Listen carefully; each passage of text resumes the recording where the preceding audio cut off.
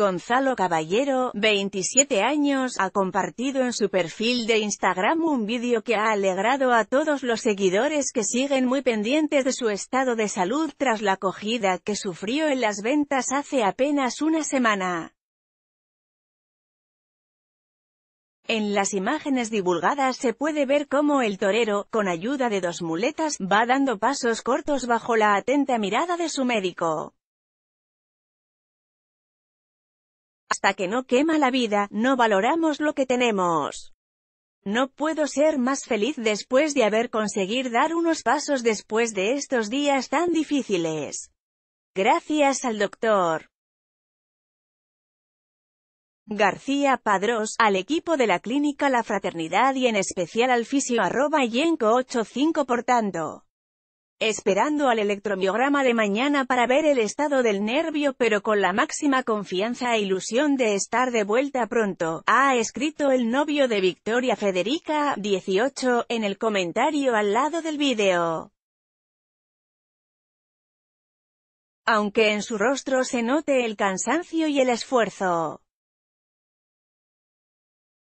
El torero tendrá que esperar al electromiograma que le practicaran este martes para ver en qué estado se encuentra el nervio afectado después de la acogida.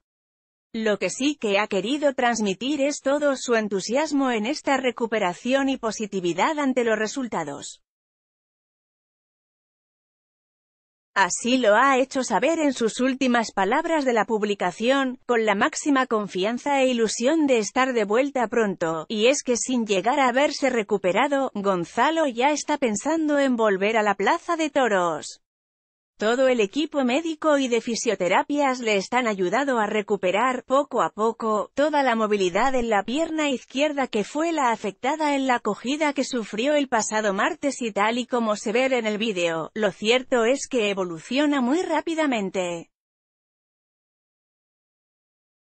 A espera de ver qué le dicen los médicos, si el torero sigue avanzando tan positivamente y ven el nervio afectado también, podría recibir el alta médica pronto.